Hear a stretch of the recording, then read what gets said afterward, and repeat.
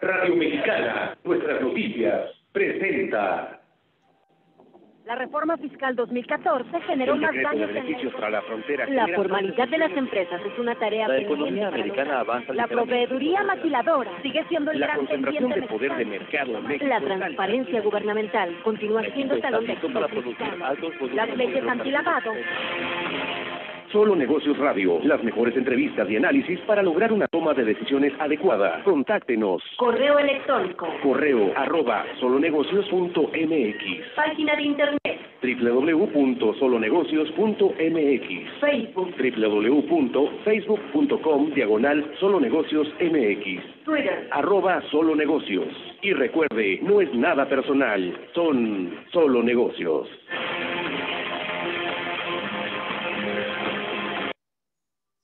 ¿Qué tal? Buenas tardes, mi nombre es Alejandro Sandoval, los saludo con mucho gusto, transmitiendo desde Solo Negocios para Solo Negocios Radio, Radio Mexicana, 1300 de amplitud modulada, al igual que por internet en Facebook Live, tanto de Radio Mexicana como de Solo Negocios, y poco más tarde en las múltiples redes sociales Spotify, Apple Music, eh, Music de Amazon, eh, el de Google Podcast, y por supuesto en video en YouTube y demás redes.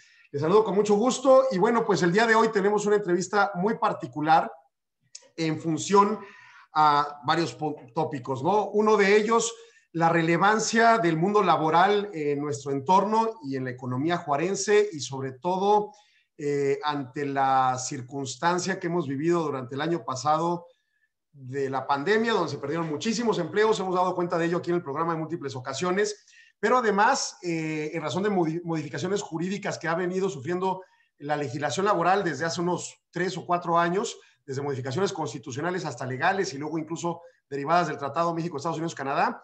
Y bueno, pues qué mejor para ello que invitar a un extraordinario amigo, pero que además es un experto en la materia, licenciado Jorge Orlando Pérez Gutiérrez, quien es abogado en Counselors International y es especialista en materia laboral y a quien tengo gusto de conocerlo desde hace ya varios años. Y bueno, pues te mando un extraordinario abrazo, mi estimado Jorge. ¿Cómo estás?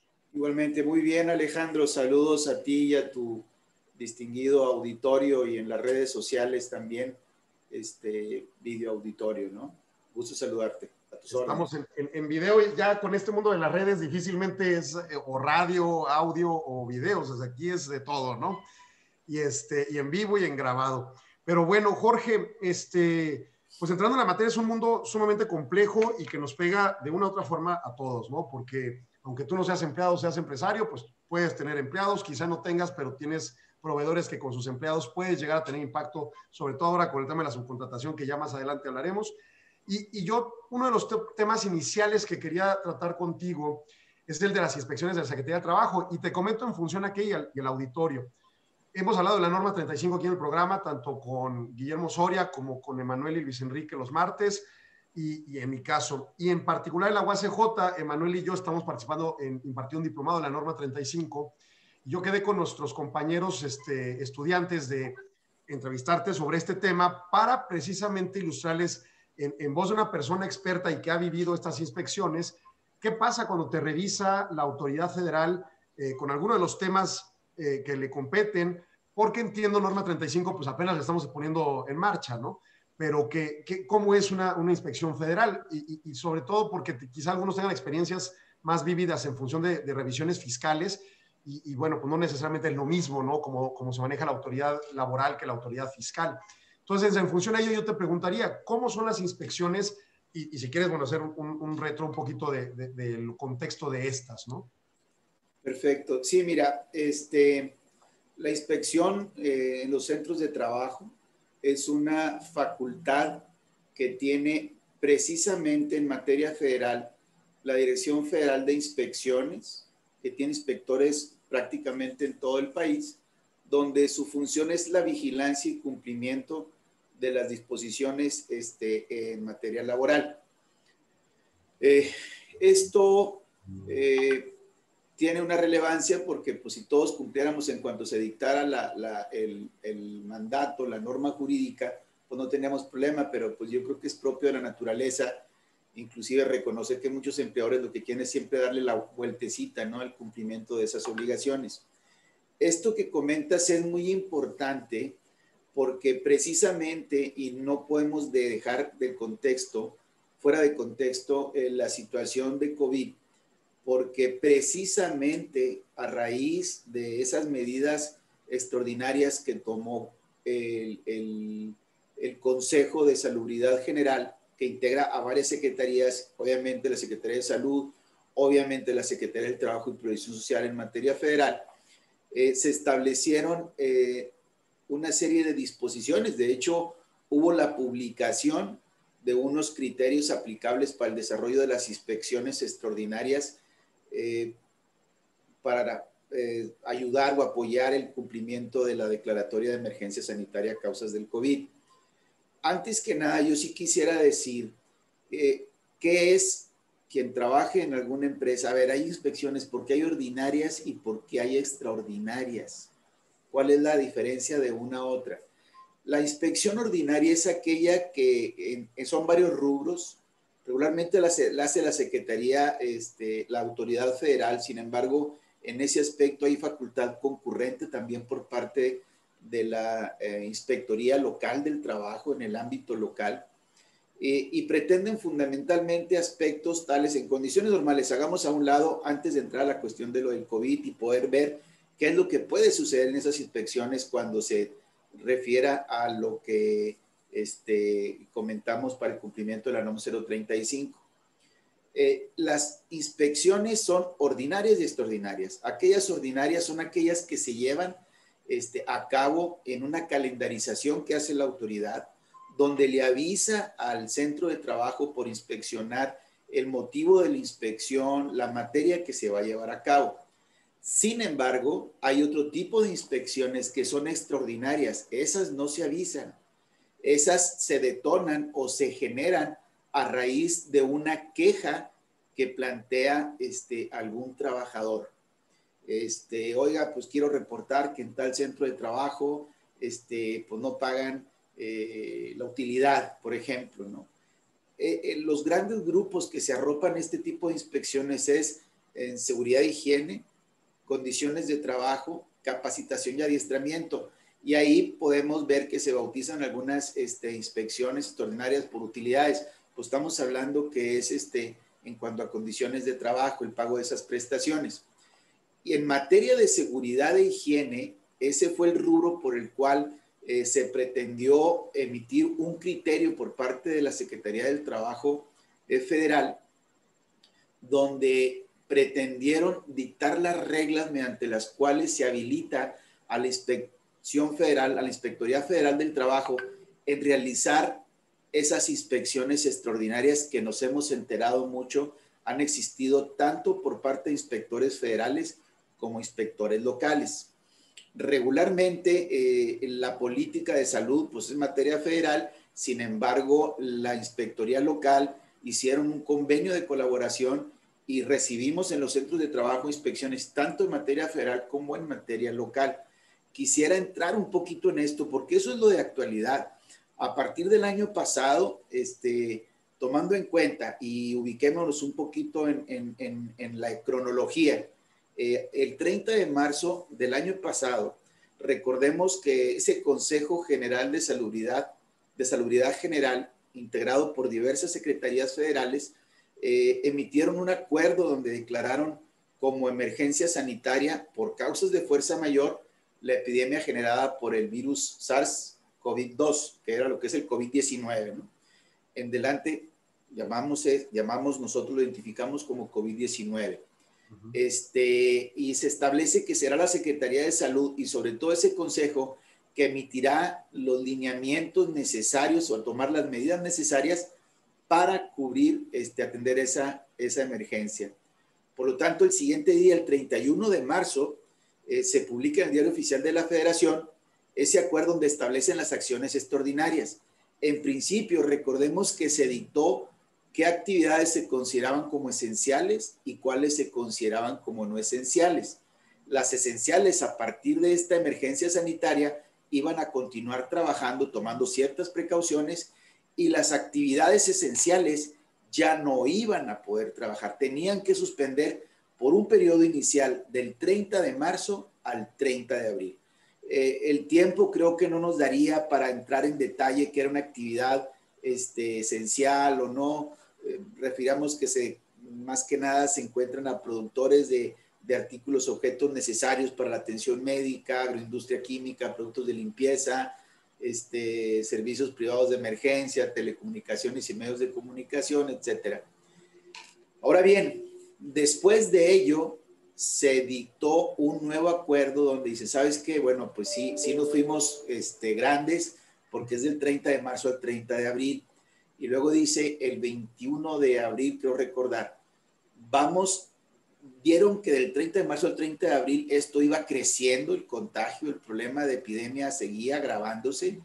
Y el 21 de abril dictan una nuevo, un nuevo acuerdo donde prorrogan en lugar del 30 de abril hasta el 30 de mayo dictan, eh, eh, continuaría la situación de emergencia sanitaria.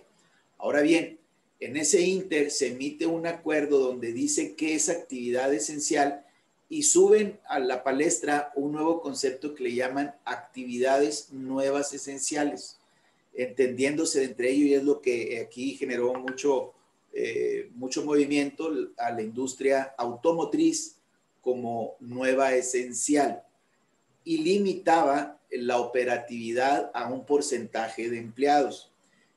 Nosotros como despachos tuvimos mucho problema porque empezaron a generarse esas inspecciones porque era eh, por la disposición de esos criterios los que hacían cumplir que aquellas empresas se consideran esenciales o aquellas que se consideraban nuevas esenciales este, estuvieran eh, funcionando en la, en la limitante. Surgieron muchas empresas, muchos centros de trabajo que decían, señores, yo sí me considero que soy esencial. Aquí nosotros tuvimos que atender asuntos donde el cliente me decía, mira, yo hago un producto que es una cajita de cartón, que es en donde se deposita un insumo que va a participar en un sistema de, de respiración en los centros hospitalarios, etcétera. Es decir, jalaban mucho la liga para conceptualizar lo que era una actividad esencial o no. Jorge, dame un segundito. Tenemos que ir a corte en la radio. Vamos a seguir en redes sociales, pero dame un segundito. Vamos a corte. Claro. Ahí ya nos mandaron a corte. Oye, sí, ¿no? Eso de jalar la liga fue impresionante, ¿no? O sea... Todo se consideraba actividad esencial, todo el mundo quería ser esencial. Yo vendo aceite y va en los coches, pues es autotrans es transporte, ¿no? Se mueven las ambulancias, este, en las cuales llevan a los lesionados, bla, bla, bla, bla. Sí, sí, este, fue, fueron momentos bien complicados. Yo creo que, que la autoridad se, se, le hizo bolsa el engrudo ante una cosa que nadie tenía la experiencia de, de afrontar.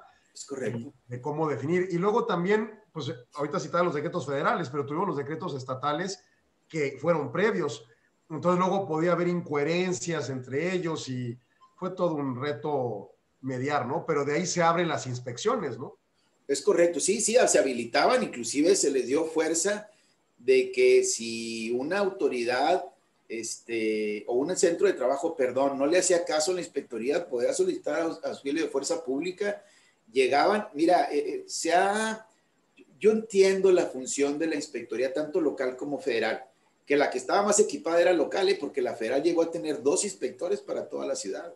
Entonces, ahí estas gentes realizaban esas inspecciones y te invitaban a que si no eras esencial después del acta, ¿sabes qué? Considero que no eres esencial, te invito a que cierres. Ahí si no cierres, bueno, pues si no cierras, ahí daban cuenta a la autoridad y llegaba este, las instancias de salud correspondientes y vámonos a, a clausurar. Y aquí el problema es de que clausurar una operación en un centro de trabajo, sobre todo la industria maquiladora, es un tema pues grave. Entonces nuestra recomendación era, ¿sabes qué? Pues vamos viendo qué es lo que te están pidiendo para considerarte esencial o no. Y, pues bueno, era una problemática ahí este, interesante. Yo no percibí, yo no advertí este propósito recaudatorio. A ninguno de mis clientes, eh, un inspector local o federal, se acercó a decirle que le podía ayudar si le daba un, una lana. No me tocó verlo, ¿no? Espérame, ya vamos a regresar al aire aquí en, en radio. Sí, claro. Ahí me están escribiendo. Y volvemos al aire aquí en Solo Negocios Radio, en 1300 amplitud modulada, platicando con el licenciado Jorge Pérez Gutiérrez, quien como especialista laboral nos platicaba cómo se vino, dando esta situación de cuestiones extraordinarias ante los decretos de COVID, los declaratorias de, empresas esenciales y nuevas esenciales, y cómo iríamos a eso.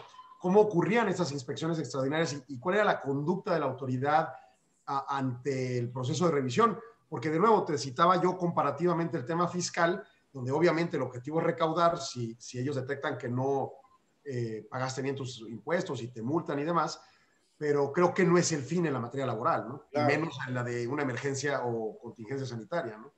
No, sí lo advertimos nosotros en algunas inspecciones que nos tocó inclusive estar presentes, donde lo que requería la autoridad era el cumplimiento de las medidas, por ejemplo, vamos a suponer que fueras esencial o no esencial. Te concluía diciendo el inspector, ¿sabes qué? Con los datos que me das, pues no te da para que te consideres actividad esencial. Por lo tanto, este, te invito a que este, suspendas tu actividad. Eh, y era una invitación. Si no hace caso, bueno, pues entonces daban este, cuenta a las autoridades correspondientes y ya había visitas donde ya se obligaba a la suspensión.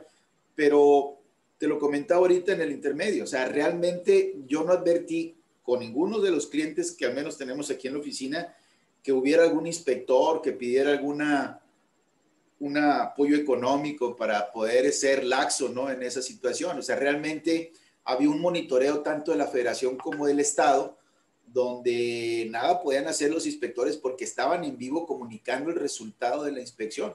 Me tocó ver inspecciones que abrían el acta y esa acta la estaban revisando, por ejemplo, en Chihuahua, y grandes corporativos, ¿eh? la estaban revisando en Chihuahua, entonces no se puede hacer nada que no fuera, que no fuera cierto, ¿no? Eso es en cuanto al momento histórico que eras esencial o no esencial. Y ahora, eres nueva esencial porque es industria automotriz. Estás cumpliendo con todo, la sana distancia, eh, el muestreo diario de termómetros de los empleados. Era impresionante ver la logística de un centro de trabajo de dos, tres mil empleados por turno, cómo eh, se las arreglaban ¿eh? para cumplir esto. Hay corporativos, estuve el otro día en un corporativo, un cliente aquí de la oficina, donde llegan, es una empresa que tiene 4.000 empleados en los tres turnos. Esta empresa le entrega a cada empleado de cada turno dos cubrebocas. Un cubrebocas en la mañana y me llama la atención porque tienen una manchita roja. Lo que pasa es que después de terminar este turno, se ponen el segundo y se tienen que marcar. Es decir, a diario, a diario están entregando 4.000 cubrebocas este, a los empleados. Y algo que lo he dicho en algunos foros, en alguna oportunidad que he tenido de dirigirme a algunos redescuchas, este, es de que extrañamente, aunque haya el conglomerado de personal, eh, de seres humanos en la industria maquiladora, no han sido los focos detonantes de contaminación. Hubo por ahí al inicio algo muy desafortunado, pero veía uno el comportamiento de la gente, el, el, formarse para llegar a que le pasen la temperatura, a que tome este, el gel antibacterial, este, cómo se dirigen, la sana distancia, un respeto absoluto. ¿eh? Yo creo que la industria maquiladora eh, pues le invirtió, pero también sobre todo el comportamiento de los empleados en la industria maquiladora ha sido, ha sido ejemplar. Llama la atención saber que hay un centro de trabajo, mm, es un asunto, omito el nombre, 2.000 empleados, de los 2.000 empleados traían tres contagiados positivos en COVID de operadores directos y uno era porque jugó fútbol el sábado ante una liga donde había varios contagiados, el otro era porque creo que tuvo un problema ahí, una fiesta, fue una reunión con un primo y el otro porque su esposa estaba contagiada. Eran tres gentes de dos mil personas. Eh, eh, los empleados indirectos, que eran un 10%, yo creo, vamos a suponer que sean 200, sí traían como 40 positivos a COVID ¿Por qué? Porque esa gente con mayores recursos pues estaba saliendo a los centros de trabajo, a los centros de diversión, a los centros comerciales, salía al restaurante porque tenía más recursos. Es decir, eh, el problema que desafortunadamente hubo muchos contagios fue en la socialización que tenían las personas, más que los centros de trabajo. O sea, de alguna manera las empresas, sobre todo las grandes, pero digo, yo lo vi en tamaños medianos eh, de empresas o pequeños, pues sí promovieron la aplicación de los de los criterios de cuidado, digo, hasta para cuidarse uno como, como el dueño que está ahí en el, en el, en el negocio, ¿no? Ahora, eh, me, dices que tuvieron experiencias de inspecciones extraordinarias para estos efectos. En, en, el mundo de estas empresas medianas que yo conozco más, no hubo inspecciones. Yo tenía información a enero del año pasado que teníamos un solo inspector en la Secretaría del Trabajo en la, en la federal. ¿Cómo andamos con el personal y qué capacidad instalada tienen para hacer inspecciones? Yo creo que traes, yo creo que traen cuatro, cinco o seis inspectores ahorita, pero tú te acercas ahorita con el, con el, el, encargado de despacho, porque ya no son ni sus delegados, ya les cambiaron el nombre a la nueva administración, este, y es una persona joven, preparada, donde llegas y le planteas tu problema y te pasan y mira, lo que necesitas es hacer esto, o sea, el objetivo de la inspectoría, y esto hay que entenderlo, hay que percibirlo tanto en la federal como en local, es el cumplimiento de las disposiciones, más que la oportunidad de generar una, un procedimiento económico sancionador y que te genere una multa. El objetivo, y lo he reconocido yo aquí, de hecho un día lo planteé yo en un evento, en un foro en la Ciudad de México, eh, el estado de Chihuahua, tanto federal como local, eh, a, a nivel eh, de otros estados donde pues hemos visto que hay multas de millones de pesos en la Secretaría de Trabajo Federal, en el estado de Chihuahua ha sido muy este, eh, benévola la autoridad, pero en el buen sentido de la palabra, porque no han perdido que el objetivo principal de ellos es precisamente el cumplimiento de las disposiciones legales, más que el afán recaudatorio. Yo no advierto un afán recaudatorio ni vía multas ni vía este, solicitud de recursos por parte de los inspectores. ¿eh? Y, y, bueno, eh, cabe mencionar, digo, el año pasado resulta un año con un déficit de Producto Interno Bruto del 9%, que está por confirmarse cuando publique INEGI el 31 de enero, con una pérdida de 647 mil empleos en el país neto eh, formal ante registros de IMSS, alrededor de 5 millones en materia de informalidad, o sea, un derrocamiento económico. Pero Juárez, Juárez no, o sea, su condición con maquiladora, con una maquiladora que se empieza a diversificar, ya no solo a voltear a Estados Unidos, sino a otras naciones, y la derrama económica que ello provoca y que tenemos construcción de comercios e inversión de empresas privadas y demás, pues te hace ver que requiere que la mano de obra esté mejor. Y quizá que yo quisiera alegar un poco al tema de norma 35. Si las empresas se, se preocuparon tanto por su personal, quizá no por blancas palomitas, sino por lograr realmente que todo sea funcional y que su gente pues, siga viva, ¿no?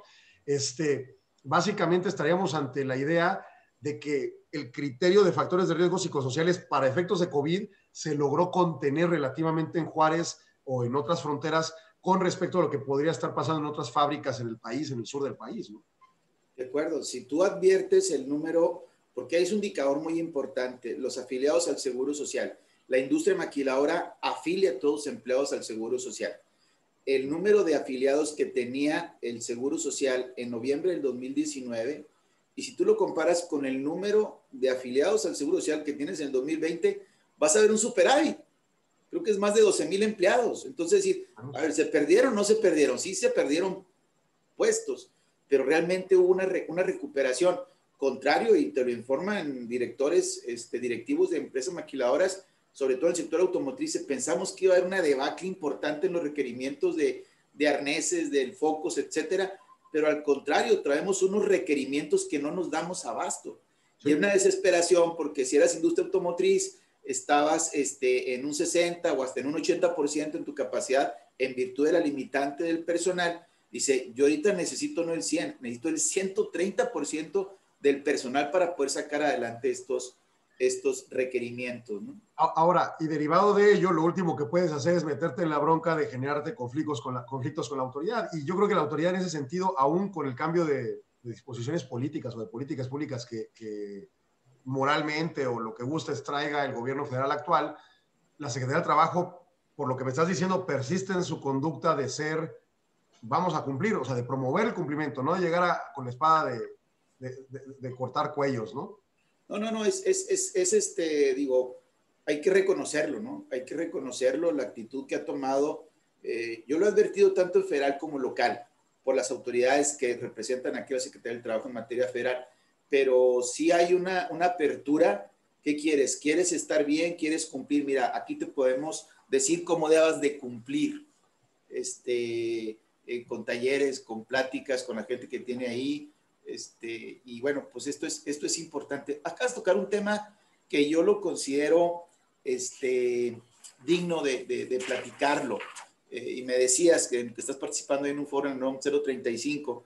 Mira, eh, esta, esta norma oficial mexicana es una norma que en un momento dado se creó por el alto índice de problemas que incidían en un alto, eh, en una alta cantidad de accidentes de trabajo. Y detectaron que gran parte de este problema era precisamente esa desatención, esa distracción que traían los empleados en virtud de que pueden traer un clima, este, un entorno desfavorable, un ambiente de trabajo desfavorable, este, y, bueno, pues esta distracción se incrementaron de manera importante los accidentes de trabajo, detectan que este es el tema y pues bueno, tienen a bien en dictar una norma oficial mexicana, este, eh, la 035 STPS del 2018, donde dicen, a ver, vamos a, cuidar un aspecto que hasta ahorita no lo veíamos así nosotros. Nos llamaba la atención a, abogados de empresa donde decían, ¿sabes qué? El estrés laboral, vato, ya es accidente, es una enfermedad profesional, el estrés laboral. Y probablemente si nos revisamos con lupa todos, todos traemos ahí un problemita de enfermedad profesional. Pero sí esto es importante advertir que aunque la situación de la pandemia en cuanto a las inspecciones para exigir el cumplimiento, ver que los centros de trabajo se pongan eh, a trabajar respecto a cómo regular, a las prevenciones, a, las, a los procedimientos que están obligados en virtud de la NOM 035, eh, no se ha podido aplicar ahorita porque ahorita la prioridad, de hecho, están suspendidas las inspecciones extraordinarias tratándose de condiciones de trabajo, seguridad y higiene. Ya le llaman ahorita inspecciones COVID, que son las inspecciones extraordinarias COVID. Y más aún, ahorita de momento, y tuvimos una plática nosotros con la autoridad local, porque hubo una oportunidad a finales del año pasado que aquellas empresas que consideraran que están cumpliendo con todas y cada una de las medidas y los protocolos para prevenir el COVID, eh, emitió el gobierno del estado un distintivo que se, que se llama distintivo empresa con valor. Esto le hacía subir una información a la Secretaría eh, de Innovación para ser considerada y tener una prerrogativa en cuanto a la capacidad de producción podías estar hasta el 100% si cumplías con este distintivo, una serie de requisitos. Información que ya le proporcionaste el Seguro Social, etcétera, pero tenías que mandarlo, ¿no? Ahorita lo que está haciendo la autoridad local es, le están ordenando que vaya y verifique si ese centro de trabajo, la información que dio en ese distintivo de empresa con valor, efectivamente la tiene. Y ahorita andan muy ocupados los inspectores locales en eso.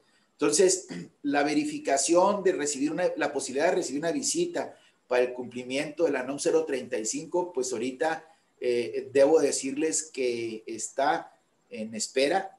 ¿Por qué? Porque ahorita es prioritario precisamente uno, seguir checando en los centros de trabajo el cumplimiento de la sana distancia, etcétera, y sobre todo que se cumplen con ese distintivo, con los, los requisitos que se le pidió para el distintivo empresa con valor.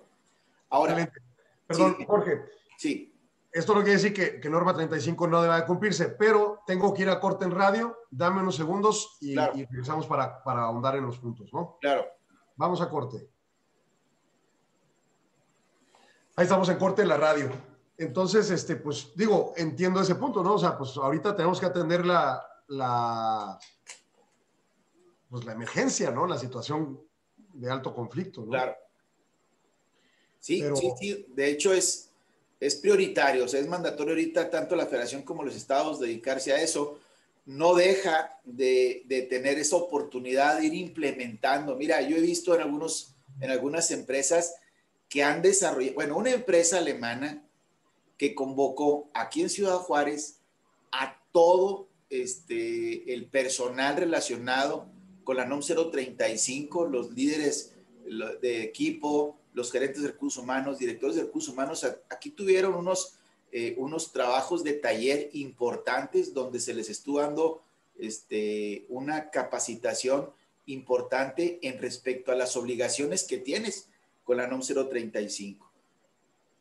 Y aquí, bueno, si quieres, ahorita lo, lo, lo podemos comentar para no repetirlo.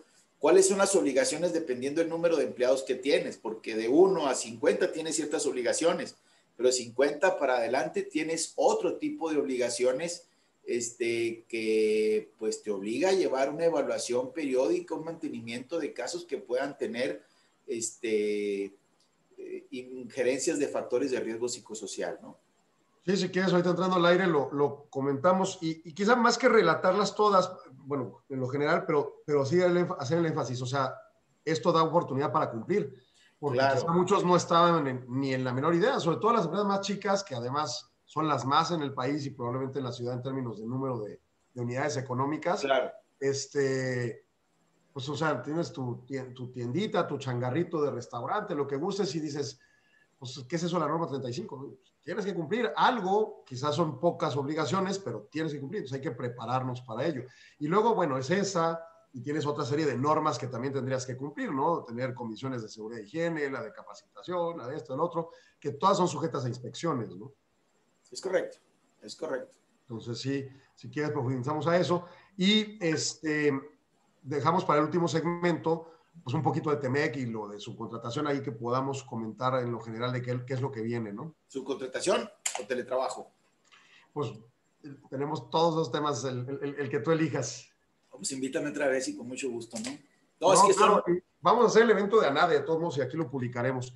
Ok. Este, para que profundicemos en esos tópicos, porque vienen un chorro de cosas. En, Yo, en como coordinador de comisiones, ¿no? Ahí este. Yo soy el coordinador de comités y, y, este, y pues tú eres el de laboral, así que tenemos que trabajar claro. en ese tema. Claro. Y vamos a entrar en 10 segundos. Ahí estamos entrando al aire. Volvemos aquí a Solo Negocio Radio en el 1300 de amplitud modulada, platicando con Jorge Orlando Pérez Gutiérrez sobre la materia laboral, sobre inspecciones y ahorita estábamos profundizando un poco en norma 35. Entonces, queda, decías ahorita antes del corte, este, quedan suspendidas estas otras revisiones ordinarias y nos vamos a la cosa extraordinaria, COVID. Pero nos da tiempo para cumplir lo, lo ordinario, ¿no? Claro, mira, más que decir están suspendidas, oficialmente no hay nada de eso, ¿no? No, bueno, claro. Eh, pero no echar a andar yo la maquinaria y empiece mañana ¿no? a hacer inspecciones. este, NOM 035. No, mira, este, pues la, las, las, características, las circunstancias de la pandemia, este, que afortunadamente se ven algunos números eh, mejores y qué bueno, ojalá y esto eh, acabe. Eh, personalmente, una, una, amiga de mi esposa eh, ayer falleció, ¿verdad? una mujer joven que, que, este, pues bueno, está muy lamentable ahí. Mi mujer me habló muy triste, ¿no? Platicándome ese tema, pero bueno, es algo que, que desafortunadamente, pues ya lo vemos cada vez más, más, este, más real, aunque ojalá disminuya esa frecuencia, ¿no? Entonces, ¿qué va a pasar? Ahorita andan ocupados con estos temas, repito, con el cumplimiento de, de las eh, medidas preventivas, la sana distancia, y aparte están reverificando que las empresas, aquellas que tuvieron la autorización del distintivo de empresa con valor, pues sí efectivamente estén cumpliendo lo que dijeron que cumplían, ¿no? Pero como tú bien dices, no es nada nos quita porque un alto porcentaje, un, un amplio factor del incremento en los riesgos de trabajo, en los accidentes de trabajo, fueron los problemas este, de riesgo psicosocial que hay en los centros de trabajo. Entonces, cada riesgo psicosocial, el factor de riesgo psicosocial es, eh, y no es idéntico, no, es, no podemos cortar eh, con un formato todos los riesgos, los factores de riesgo psicosocial. Cada centro de trabajo tiene su factor de riesgo psicosocial y de ahí que esta NOM precisamente lo que pretende es de que se identifique, se analice y se prevengan esos factores de riesgo psicosocial. Hay centros de trabajo, por ejemplo, que tienen, y esto es algo que hay que ponerlo en la mesa, un problema muy serio de requerimientos de tiempo extraordinario. Yo lo dije un día y me llamó la atención, ese es un amplísimo factor de riesgo psicosocial. Enorme. Porque, yo trabajo nueve horas en la industria maquiladora o 9.5 horas porque trabajo cinco días de la semana, son horarios permitidos, pero aparte de eso, pues hay requerimientos y para mí trabajar tres horas o dos horas al día pues al final del día me duplica la percepción ordinaria que yo tenía. Pero llegas cansado a casa, llegas este, malhumorado, eh, no convives con la familia, si traes un ambiente hostil en el centro de trabajo y laboras tiempo extra, pues te aguantas, pero llegas, este, te va generando un problema psicosocial. De ahí que, que este, pues identificado y en muchos de los centros de trabajo que tienen un problema recurrente de tiempo extra, se está identificando como un factor de riesgo importante, ¿no? Bien, eh, este, ¿qué es lo que, se pretende eh, por parte de, o qué obligaciones particulares? Y en una inspección seguramente van a buscar que el patrón esté cumpliendo con esto.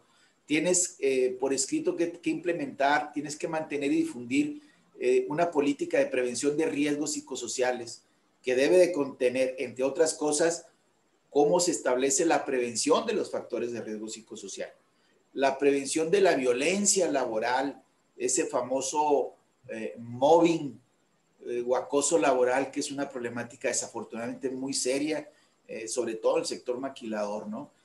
también cómo debes de buscar promover un entorno de este, organizacional favorable. ¿Cómo puedes lograr eso? Este, tienes que identificar, una vez que identifiques esos riesgos, tienes que ver qué medidas vas a tomar para evitarlos, desalentarlos y promover ese entorno organizacional favorable. Este, tienes que identificar aquellos trabajadores que fueron sujetos a consentimientos traumáticos, acontecimientos no necesariamente que suceden en el centro de trabajo. Probablemente yo empleado eh, cerca de donde vivo hubo un lamentable hecho violento donde fallecieron tres jóvenes. Eh, eso quieras que no, llegas y te genera una carga psicosocial importante en sentido negativo, te afecta. Tienes que ver, eh, eh, te tienes que identificar si en virtud de una encuesta, digo, es un trabajo de psicología muy profesional que yo he visto algunos, eh, algunas evaluaciones donde mediante un cuestionario sacan si tú has tenido, si estás padeciendo algún acontecimiento traumático y ver qué es lo que se necesita. Y aquí los departamentos de psicología en los centros de trabajo medianos y grandes y en los pequeños centros de trabajo, como tú bien dices, son los más en el país, pues se apoyen de, profesionalmente de psicólogos que puedan ayudar en, ese trance, ¿no? Este, esos exámenes médicos y evaluaciones eh, a través de, las instituciones para ver cómo andas eh, psicológicamente en el centro de trabajo este, eh, algo que es importante en, la eh, que debes de hacer o qué te puede preguntar un inspector. Ellos van a buscar que las condiciones en el ambiente de trabajo, este, que es una condición peligrosa o insalubre, la ley lo dice, pero hay que ver en, seguridad y salud en el trabajo qué es lo que se considera, si se están tomando las medidas preventivas si el trabajo en esas actividades está llevándose de la manera eh, mejor, este, analizar que la actividad que realizan los empleados no sean este, unas cargas de trabajo excesivas. Eh, este, vuelvo al tema, algo es bien recurrente, el, tiempo extraordinario. Esto te genera este, una serie de problemas psicológicos fuertes y algo que hay que verlo desafortunadamente también. Te van a preguntar, si tú detectas con motivo de esa identificación de factores de riesgo psicosocial, si hay liderazgos negativos en el trabajo. En todos los centros de trabajo, claro que los más son liderazgos positivos, pero hay también muchos liderazgos negativos. ¿Cuántas veces no nos damos cuenta que llega un empleado y apenas va entrando al, al estacionamiento en el transporte de la empresa y ya le duele la cabeza porque sabe que va a haber ese técnico, ese supervisor que lo trae en carrilla? ¿no? es algo que desafortunadamente este, se tiene.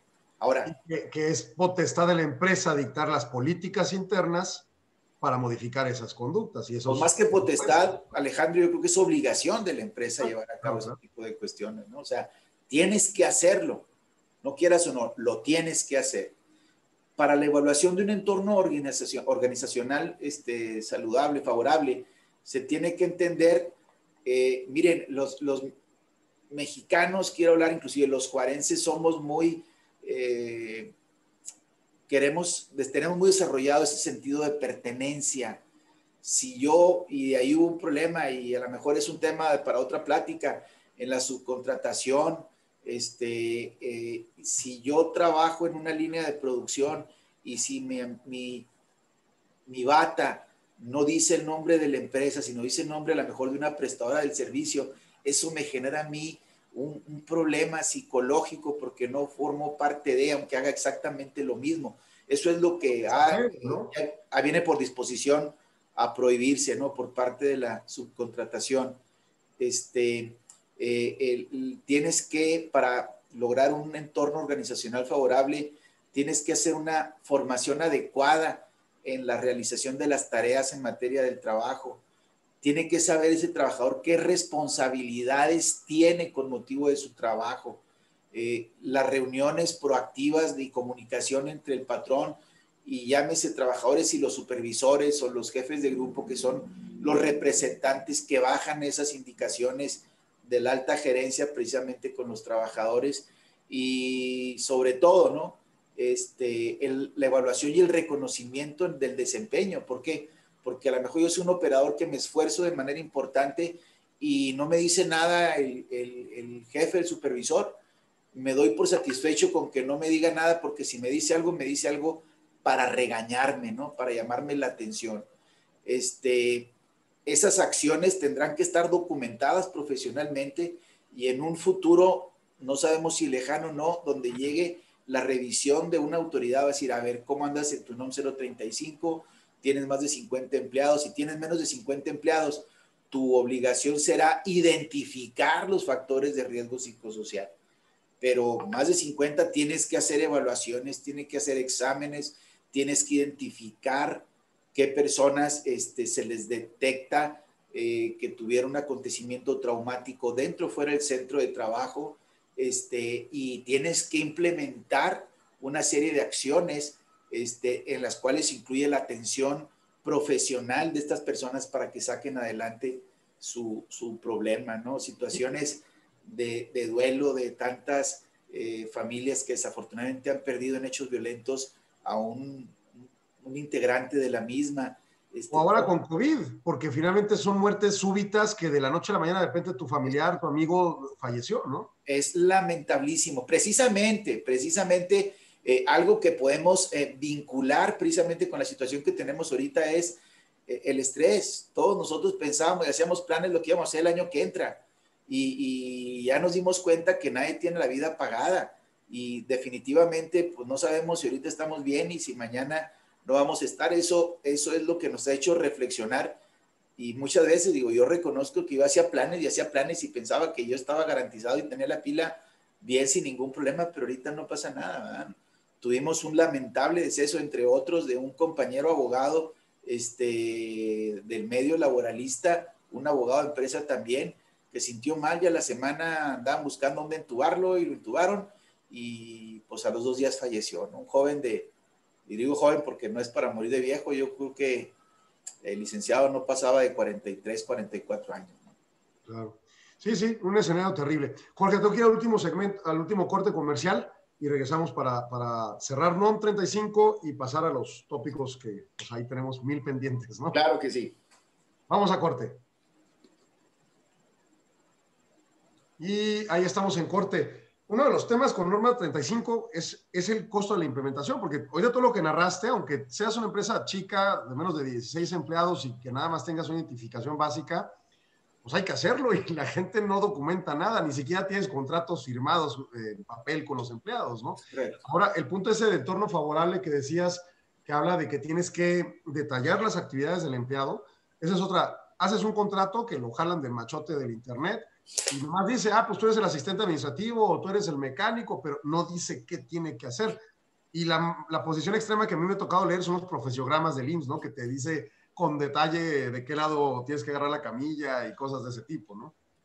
Sí, no, no, y, y vete al, al, como tú lo dices, ¿no? Un centro de trabajo de un taller mecánico de cinco empleados y el patrón, el maestro, este, pues no tienen contratos, no tienen recibos de pago, no tienen absolutamente nada. Y si tú le rascas a esa gente, eh, lo investigas, te aseguro que trae factores de riesgo psicosocial gravísimos. De todo. Entonces, esa es una problemática que se tiene y, pues también algo que hay que cuestionarle a, la administración, sobre todo la, a, la, a, la, a la federal y a local, ¿por qué no? Pues les ha faltado también tener esa plataforma de apoyo al pequeño y al micro y pequeño empresario, donde, espérate, mira, aquí hay psicólogos donde te van a atender, aquí hay esto, vamos a... Vamos a supondría que el IMSS tiene ese servicio indirectamente, o debería, ¿no? Pero pues, la capacidad presupuestaria pues, ni para paracetamol a veces, aunque en COVID se han visto bien en algunas cosas, pero pues en muchas ocasiones no. Ahí estamos regresando al aire, Jorge, último segmento. Antes de seguir nada más, te manda saludos el licenciado Ramón Lerma Corral, el nuevo presidente de la NADE. Nuestro presidente. Eh, señor presidente, saludos, jefazo. Este, pues cerrando con NOM 35, ahorita en el corte comentábamos, también será un tema de, de costos en implementarlo y de nuevo, quizá este escenario donde si bien decías claramente, no es formalmente suspendida las inspecciones del resto de normas o de imposiciones normativas de la legislación laboral, lo cierto es que la, capacidad instalada de la Secretaría del Trabajo, tanto estatal como federal, no da para hacer más revisiones que lo de COVID en este momento, que es lo, lo relevante. Pues nos da tiempo para prepararnos, ¿no? Para prepararnos ante norma 35 y las demás normas que tendríamos que tener cumplimiento en seguridad de edificios, en cosas este, químicas, en cosas radiológicas, si así te compete, radioactivas, perdón, etcétera, etcétera, ¿no? Entonces, pero finalmente pues hay un costo. Y si la mayoría de las empresas son pequeñas en nuestro país, pues estamos ante un reto muy importante que incluso le compete a las autoridades voltear a ver y decir, bueno, ¿cómo las llevo así cumplir, no? Sí, sí, sí, de acuerdo. Yo creo que ahí sí se ha quedado corto la, la política, las estrategias del gobierno en el sentido de que, a ver, si más del 90% de los patrones son micro y pequeños patrones, donde seguramente ni contratos tienen, eh, tienen ni recibos tienen de pago. Hay una informalidad completa que si bien les va a estar dados de alta en el Seguro Social, pues de dónde va a haber la capacidad para que un psicólogo haga un estudio y determine aquellos factores de riesgo psicosocial, ¿no? Y diga cuáles son las medidas para generar un, un entorno organizacional favorable. Entonces, esa es una problemática que sí se tiene. Eh, comentabas de que ahorita pues le pedías a, oye, pues tú eres el encargado. No, no, yo le he visto, miren, en cuestiones laborales, muchas veces, y yo lo digo con todo respeto a los contadores públicos, yo no me meto en los números de los contadores, pero el contador rescinde, el contador administra, el contador presenta reglamentos interiores de trabajo. O sea, el contador, y, y pobres contadores, ¿no? Pero al último, pues ya traes un problema, se te complica una cuestión laboral y, pues bueno, te das cuenta que el trabajador, que el contador fue y presentó un documento que más que favorecerte perjudica ya en una estrategia de una defensa de algún juicio, ¿no? Entonces, este, yo creo que ahí sí la autoridad en su política se ha quedado corta porque el problema este, eh, psicosocial en el sector, eh, en los empleados, en, en la clase trabajadora es un problema serio, es un problema serio y ahí hay otros ingredientes a la mujer la cuestión del hostigamiento, el acoso, eh, eh, que materia sexual o el mobbing laboral, este, digo, son temas que dan para mucho, ¿no? Pero... Igualdad en el trato es, una cuestión, es una cuestión seria, es correcto, ¿no? Entonces, pues sí, sí traemos esos, esos temas, este, nosotros andamos ahorita este, algo ocupados, desafortunadamente el gobierno eh, emitió por ahí una publicación, pero ya refirió que va a ser con posterioridad la cuestión de la subcontratación. Este, eh, bueno, pues eso es, nos es un paliativo, es algo tranquilo que nos deja ahí, pero realmente eh, vemos nosotros la subcontratación como una figura que en Europa ha tenido mucho auge, lo que pasa que se abusó en México de ella y más que nada se utilizó para tratar de evadir responsabilidades que se tenían y hay que reconocerlo en muchos de los casos en perjuicio de la clase trabajadora. Entonces, este, eh, pues ya únicamente el outsourcing se puede llevar a cabo en actividades que no se, tengan que ver con el objeto social de la empresa. No puedes tener en una línea de producción un empleado tuyo y un empleado de una prestadora de servicio, un outsourcing. Este, eh, realmente única. Una cosa que me preocupa es a, aquellos que son especializados, que se supone les van a dar la autorización, te crece una nueva obligación que es ve y regístrate. Y luego, ¿qué vas a registrar? ¿Nomás a la empresa o cada contrato y las cláusulas revisables? Y entonces te crece otro costo en la empresa por prestar servicios. Ese es un tema. Pero luego el otro tema también que viene es que, cómo va a quedar el, el fraseo de las imposiciones normativas o de, la ley, pues, en términos de que de repente, por ejemplo, yo soy abogado, voy con mis abogados a la firma de, a la empresa de mi cliente y por el hecho de estar ahí brindando un servicio en sus instalaciones, pudiera eventualmente ser interpretado como outsourcing y tenga que estarme registrando cuando no tiene nada que ver con su contratación, ¿no? Y de ahí te puedes ir a interpretaciones tan absurdas que decía alguien en la NADE Nacional, ¿no? Decía, de repente voy a tener que contratar a un médico para ir a visitarlo y ponerlo bajo figura de outsourcing para efectos de que me dé su servicio y su factura sea válida en deducción, ¿no? Sí, es correcto. Sí, es Entonces sí, o sea, vienen cosas muy complejas en ese tema de su contratación que no han comprendido en el gobierno para hacer con una técnica legislativa adecuadamente el objetivo que quieren cuidar, ¿no? Sí, fíjate que tuve pláticas con un abogado eh, del Estado de Nuevo León y él me decía, mira, lo, lo patearon el bote a febrero, pero si tú me das dos años para transitar de las empresas que tengo su contratación a mi empresa, no me va a alcanzar el tiempo. Claro. Y, te, y se te estoy poniendo el ejemplo de un banco, dice. Un banco tiene 3.500 empleados bajo este esquema. ¿Cómo le voy a hacer? el mismo gobierno es una empresa que tiene mucha subcontratación. Claro. Si te vas ahorita a la empresa de telefonía más importante este, a nivel nacional, tú ves que una empresa es la que provee las instalaciones de las, del equipo, otro es el que da el servicio de, conmutación. O sea, hay, hay, muchas situaciones que se, que se advierten, ¿no? Yo creo que esto se va a tener que ir regulando este, de una manera gradual, eh, sí enfocarse a aquellas empresas que si tienen 500 eh, empleados, tienen 200 bajo su contratación y hacen lo mismo que la empresa. No es lo mismo que yo como abogado vaya a un centro de trabajo y de un servicio de asesoría a otra, a otra persona que llegue y se ponga en la línea de producción y esté armando también, haciendo las balatas del vehículo, por ejemplo, ¿no? Sí, que, eh, eso ya es violatorio de los actuales tanto preceptos de seguridad social como de ley federal del trabajo. Es correcto. Pero, pero está ese tema. ¿Tú crees que, que, que la autoridad se, se, sensibilice del punto y entienda que no puede ponerlo en febrero y en marzo sale la ley y ya entra en vigor? No, no creo yo que lo vayan a hacer. No creo yo que hacer.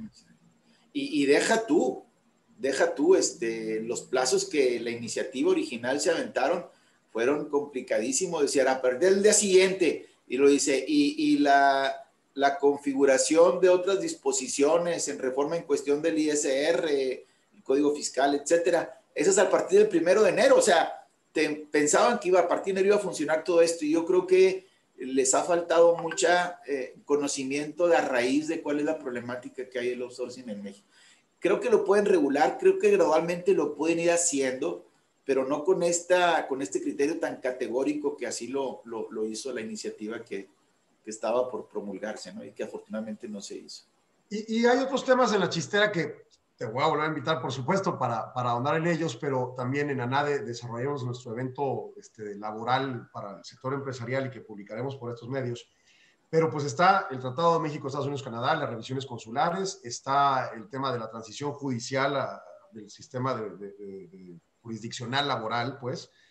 Este, está el tema del teletrabajo que ahorita citabas desde el principio, con, situaciones en las que cómo voy a aplicar cosas, cómo voy a deducir gastos, etcétera, etcétera, ¿no? Y, y, bueno, pues todavía también todo el sector de oportunidad que le falta al sistema laboral, ¿no? Se habla mucho del asunto del seguro de desempleo, por ejemplo, como una alternativa para, para brindar una justicia social a los trabajadores sin que dependa de una de, una, de, un riesgo financiero tan alto como la, la, indemnización constitucional y sus contextos eh, claro, ¿no? Claro. Nomás imagínate, este, hay sistemas jurídicos que el 50% de lo que dura el juicio lo paga el Estado y el otro 50% lo paga el patrón. Eh, eh, yo finalizo, no sé, digo, no sé cómo andemos en tiempo, pero fíjate algo que nos, vale, que nos, vale, la reflexión un poco. Tuvimos una charla en donde estábamos abogados de aquí en Juárez y estaba un pool de abogados y los presidentes de una compañía japonesa y el señor, el presidente, hacía la referencia cuando estábamos hablando de la obligación o no de pagarles un porcentaje del salario ahora que estaban en casa, del personal que no podía estar trabajando. Él decía que ellos tienen operaciones en varias partes del mundo, en Centro y Sudamérica también. Es un corporativo japonés que tiene operaciones aquí en Juárez. Dice, y a mí me, es un poquito desesperante ver cómo el gobierno de México fue el menos responsable, así lo dijo, ¿eh? Porque hemos tenido en países donde la economía es más sencilla que en México, donde el gobierno nos ha aplicado, nos ha apoyado y el gobierno federal todo el compromiso económico para sacar adelante esto, todo el compromiso nos lo echó al, al sector patronal, al patrón, al empleador.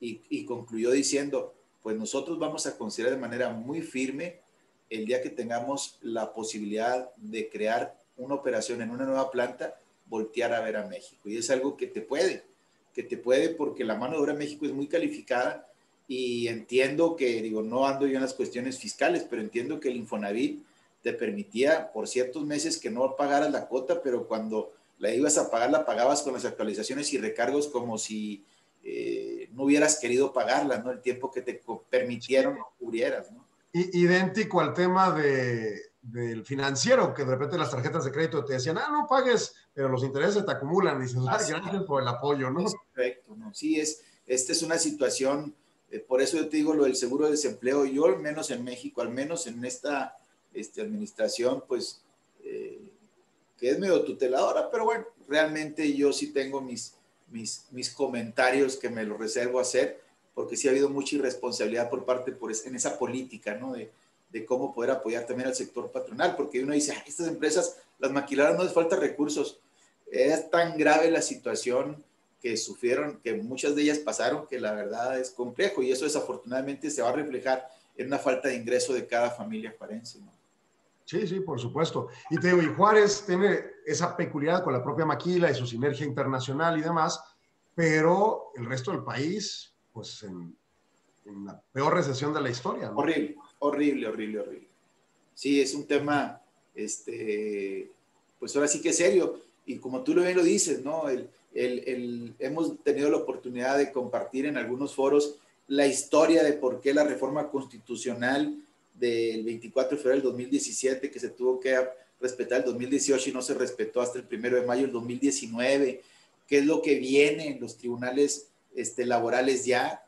Nosotros eh, implementamos en la cátedra de procesal laboral en la universidad, este, yo les hablo del sistema como está ahorita y cómo va a estar eh, una vez que se implementen los tribunales, porque si les hablo de lo que va a ser el futuro y ahorita tienen un conflicto, pues no van a saber llevarlo y si les, y tengo que decirles también, o sea, de los dos pobres muchachos, ¿eh? me, me compadezco de los estudiantes. Afortunadamente estamos ahorita en clases virtuales y te hará de tocar a ti, ahorita no nos ven y, y no nos odian, ¿no?